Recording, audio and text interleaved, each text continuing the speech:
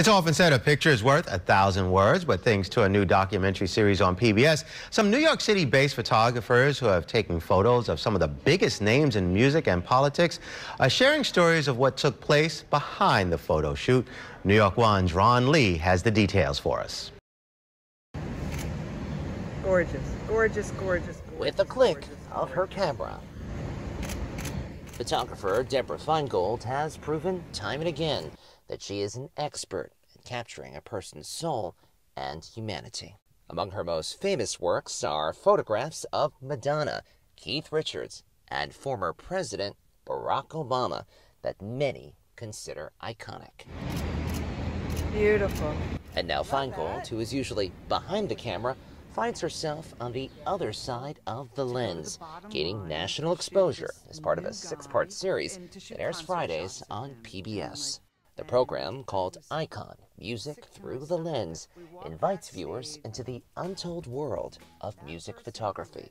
Meeting jazz musicians changed my life because I never knew what improvisation was in terms of music. When Feingold was in her early 20s and living in Massachusetts, she fell in love with a jazz musician and took lots of pictures. She says learning how to photograph jazz musicians proved to be instrumental to her success. It was about being sensitive to what who, who you're with and what's going on and being in the present and that influenced my work more than anything and still does.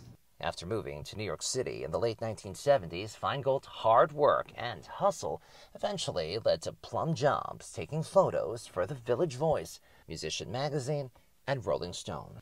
Feingold says while she never experienced sexism on the job, the road to a money shot often presented challenges. One photo of James Brown hangs in her Stuyvesant Town apartment and is one of her favorites, but taking it wasn't easy. In this particular instance, I was only allowed to photograph him while he was talking or taking a breath, you know. I couldn't interrupt him. In the docuseries, Feingold shares the story of how she got a young Madonna to pose with a lollipop. But one story that she is sharing exclusively with New York One brought us right here to Soho, where Feingold had a photography studio for five years. And I was on the fourth floor.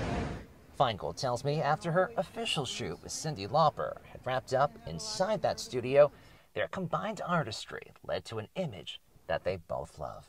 I felt like I didn't get anything that was really authentic of mm -hmm. who she mm-hmm. was.